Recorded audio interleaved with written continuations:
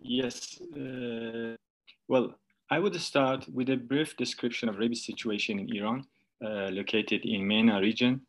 Uh, rabies is a notifiable disease in Iran since 1930s, and even before that. We have 31 provinces in Iran that are all uh, contaminated with rabies.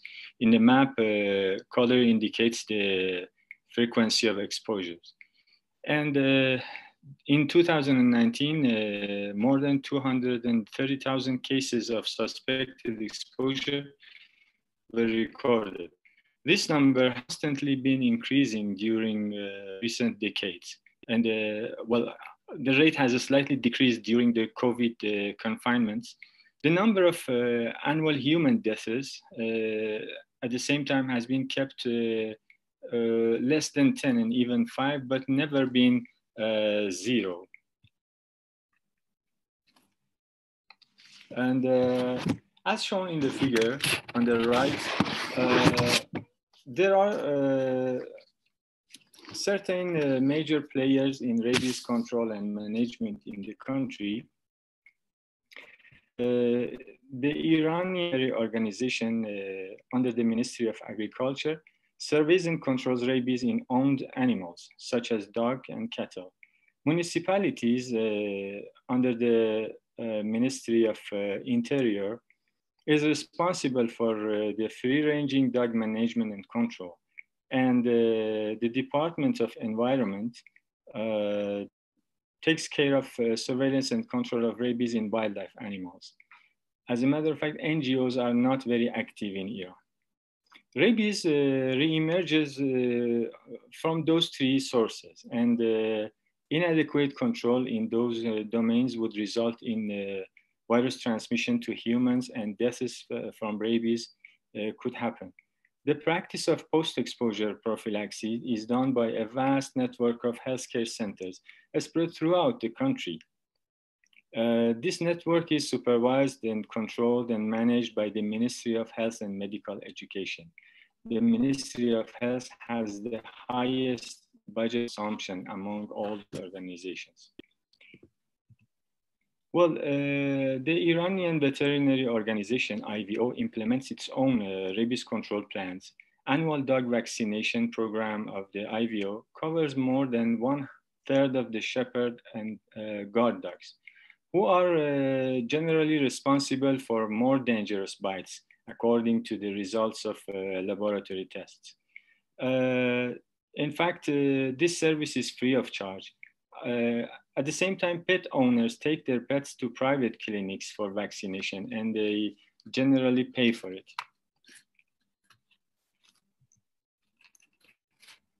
Uh, coming to the World Rabies Day, in Iran. Uh, it has been celebrated since 2007, trying to gather together as many as possible the stakeholders in rabies control in the country.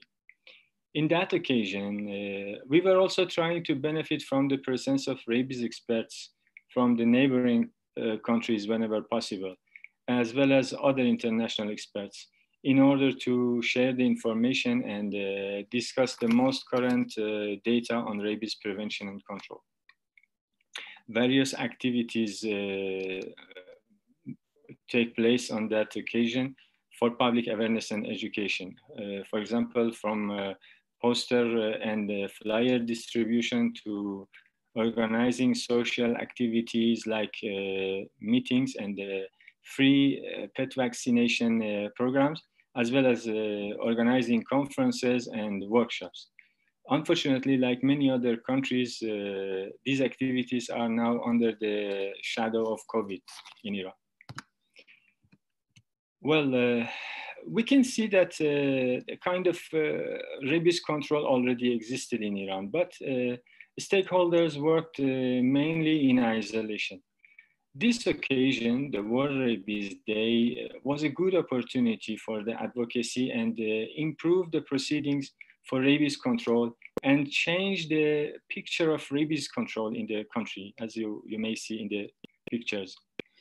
Well, during those that conferences uh, that were held uh, during the World Rabies Day uh, ceremonies, speakers from rabies stakeholders updated the other participants with their annual reports and uh, presented latest data and shared best practices.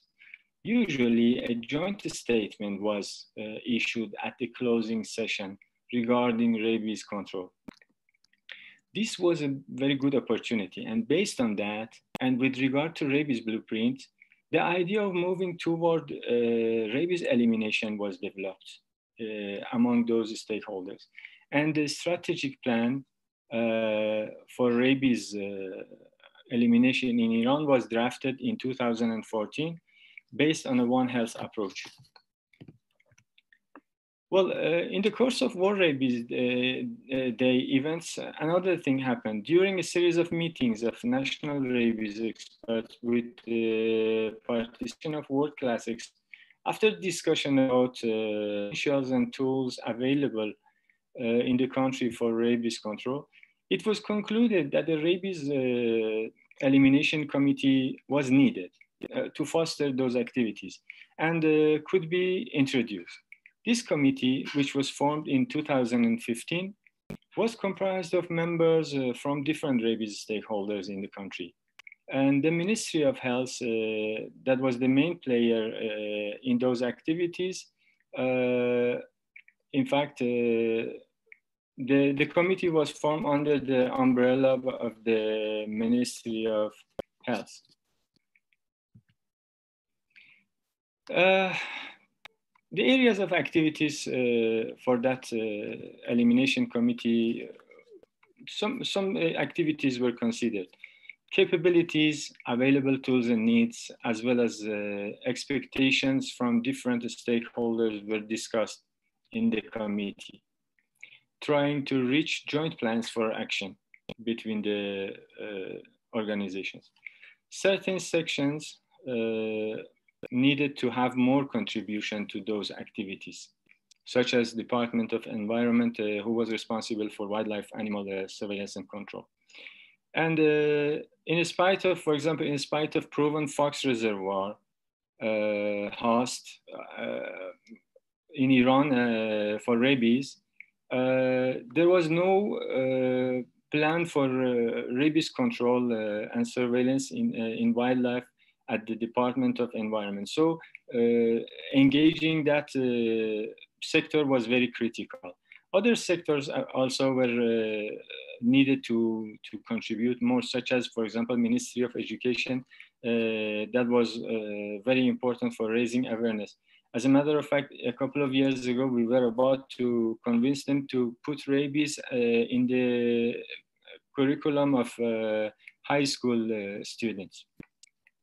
The Rabies Committee uh, also tries to organize more meetings, encourage and support uh, capacity development, uh, such as establishment of diagnostic lab network in the country, because there is uh, actually one or two uh, rabies uh, diagnostic laboratory active at the moment currently.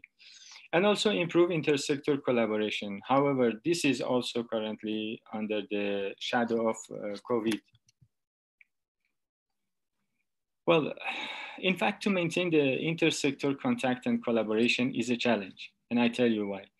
Establishment and development of intersector cooperations, also uh, obtaining uh, adequate and uh, appropriate budget are time-consuming activities.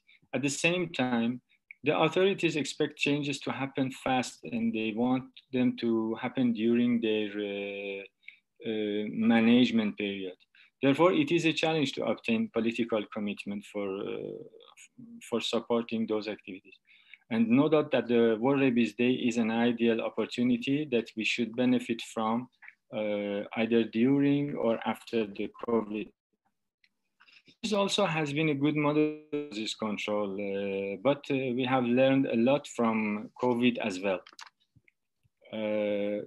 Uh, an example could be, for example, uh, we have seen that the, the articles, the scientific articles in COVID were uh, free and open access. So maybe it could be a, a good uh, initiative to make the uh, um, open access the rabies uh, publications for expanding the audience and read more uh, about rabies. Also, uh, we have seen that several activities have started uh, for uh, preparing vaccine for COVID uh, in different ways. Therefore, maybe after this COVID period, infrastructures uh, may later serve uh, for production of more affordable rabies biologicals. Uh, in fact, altogether, the World Rabies Day remains a unique platform, uh, I think, uh, for the advocacy, awareness, and the education. And it is absolutely necessary to maintain the, the, the momentum. And having said that, I would like to thank uh, colleagues for their contribution to this presentation, with a special thanks to the organizers that provided me with this opportunity. Thank you very much.